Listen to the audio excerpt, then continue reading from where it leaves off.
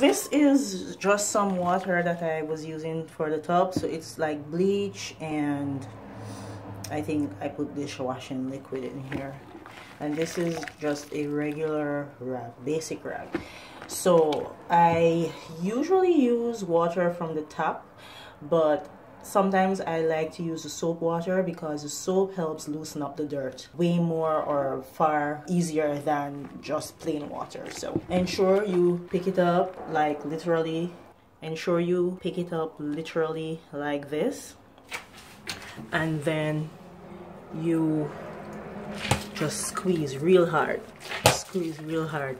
I know it's messy but you, it's just water. You can always dry it up. Don't worry about it. If you have like a carpet or a special flooring that can't get wet beneath your uh, well on your flooring for your flooring I would suggest you just try and put like a container catch the water or you could try and put some plastic or something but trust me this works. So this is like the lids the covers that cover the screws and there's a lot of buildup there and I do the same thing. I just squeeze it real hard.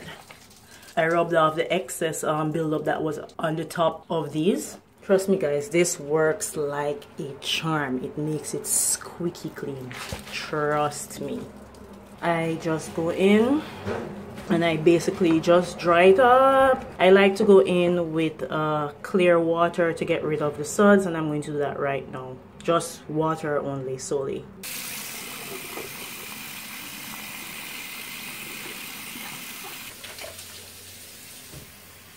So as you can see the clear water gets rid of the suds so that when you wipe it off suds won't get stuck in between the creases this is how we're looking thus far. As you can see we still have some buildup in the corner there. And this doesn't look as badly as how it looked before. So we're just gonna go ahead and do the same thing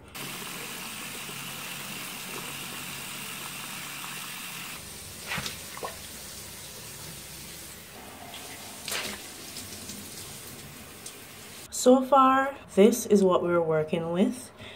I usually don't use this but it got built up pretty bad this time. So I'll just use a q-tip to just remove that crease that's there.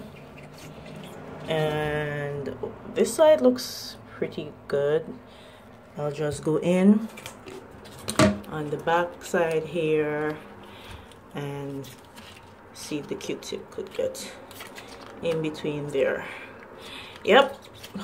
This built up is actually ajax. I'm always throwing ajax on the toilet to clean it but i don't always lift up these lids so i need to get it out. It, it doesn't look good at all.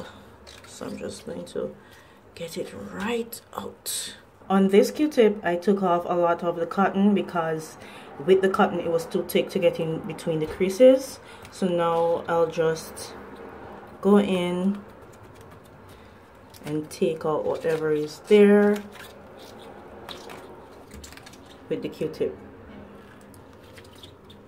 So this is what we're working with now. This looks way better than what was there before.